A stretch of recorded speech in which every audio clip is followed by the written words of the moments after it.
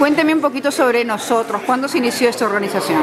Bueno, la agrupación fue fundada en, 1970 por nuestro querido amigo, que en paz descanse, el señor Ricardo Montalbán, con Anthony Quinn, Vicky Carr, Gilbert Rowland y muchos más.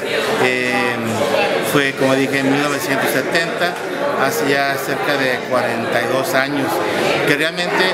Eh, nosotros es la agrupación más antigua aquí en Estados Unidos que se dedica a proteger los derechos del artista, del actor, del productor, del escritor dentro de la industria norteamericana, eh, defensores de sus eh, derechos, imagen y trabajo para los actores latinos.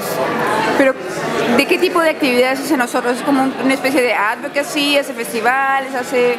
¿Cómo trabaja, cómo funciona la organización? En, inglés se viene diciendo, en, inglés es We're the oldest Latino arts advocacy group in the nation, que viene siendo eh, advocacy que aboga por los derechos eh, del latino dentro de la industria, por los, uh, los derechos del empleo del latino, productor, eh, artista en general. Eh, tenemos eh, talleres de, actuación para escritores, para directores, para productores. También lo que, lo que es una agrupación que esta agrupación sirve para enlazar las artes para enlazar a las personas que están trabajando dentro del cine norteamericano y hispano en general. Entonces, si hay productores o hay actores o hay escritores, nosotros los enlazamos, los juntamos para que se conecten y puedan trabajar juntos. Y a la vez también nos conectamos y tratamos de conectarlos con, con la industria norteamericana, ya sea los estudios, eh, los canales de televisión y productores norteamericanos.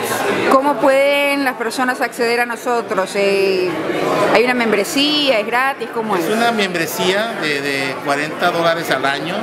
Eh, pueden buscarla en, el website, en el www.nosotros.org eh, o hablar por la información o sea, hoy en día tú lo puedes encontrar la información de la agrupación Nosotros eh, y nos va a preguntar por la agrupación Nosotros, así nomás, N-O-S-O-T-R-O-S y con todo gusto la, oficina les mandará toda la información adecuada.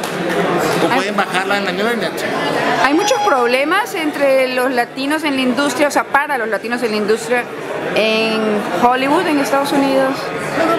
Es, es, es un problema constante que hemos visto durante años y por eso se formó la agrupación Nosotros, por eso la formó Ricardo Montalbán, porque él en, el, en 1970 vio que había una necesidad de que hubiese una agrupación que viera por los derechos del artista latino viviendo aquí en Estados Unidos, porque sí, desgraciadamente hay discriminación, hay, ah, hay este, pocas a veces oportunidades, ¿verdad? que no debe de ser, debe de haber oportunidades, oportunidades todo el tiempo, pero desgraciadamente, como decimos en México, el que tiene más saliva come más pinole, y si no hablamos y, y no gritamos por nuestros derechos, no nos los van a dar.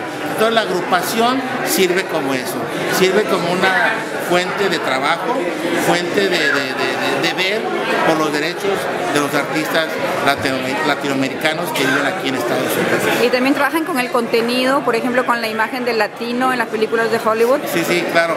Cuando hay una, digamos, un personaje, una película que va a tocar el tema latino, eh, se nos habla a nosotros para darles sugerencias, consejos en cómo mejorar el, libreto y los personajes. También a veces desgraciadamente tenemos que ponernos duros cuando vemos que un personaje está denigrando a latinoamericano y tratar de convencerlos que no conviene que saquen esos personajes y quitarlos, quitarlos del aire. La agrupación empezó en el 70 cuando había un comercial que se llamaba El Frito Bandido.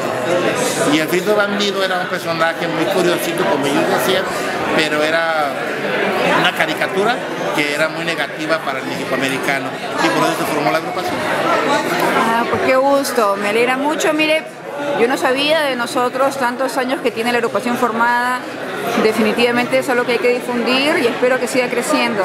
Sí, sí, es, una, es la agrupación que empezó todo el movimiento latino, eh, los, los Alma Awards, las imágenes, eh, Carmen Zapata, eh, todos estos premios y agrupaciones empezaron dentro de la agrupación nosotros. Pues también damos unas premiaciones cada año en donde reconocemos los valores latinos y, son considerados los Óscares latinos que vienen siendo los Golden Eagle Awards, los premios Águilas Doradas que se les ha otorgado a María Félix, a Dolores del Río, a Ricardo Montalbán, a Anthony Quinn, a Burt Reynolds y a muchos, muchos actores y artistas latinoamericanos. ¿Quién ganó en el 2011? ¿Mandé? ¿Quién ganó en el 2011? En el 2011 fueron este, Eric de Castillo y luego se le dio un reconocimiento especial al señor Ricardo Montalbán por toda su trayectoria. Felicidades y que sigan los éxitos y el trabajo arduo por la comunidad latina. Muchas gracias y los esperamos aquí nosotros.